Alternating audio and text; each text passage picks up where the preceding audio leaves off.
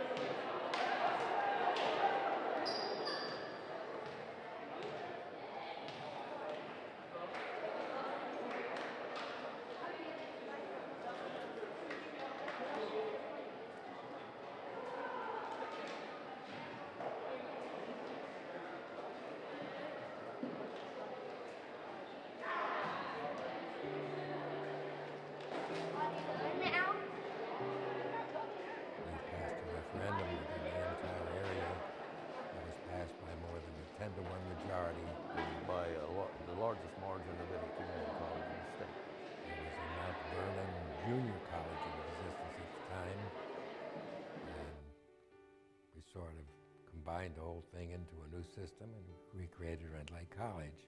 The Mount Vernon, Rend Lake Junior College, uh, most of their facilities they shared with the high school. It wasn't maybe the neatest thing in the world to think you graduated from high school and you were still going to the same campus in sorts. There were so many advantages to going and getting that first two years out of your way and getting acclimated to college. They hired Dr. James Snyder in the spring of 1967. They selected a site and hired architects. We bought a 300 acre farm from the Jones people. Number one, for facilities for the college, but secondly, we were going to have an agricultural program. They had the groundbreaking ceremony for the new campus in March of 1969. And they gave me a shovel, and as unaccustomed as I was to digging holes, I dug the first shovel full of dirt. That was an exciting, exciting time of the groundbreaking.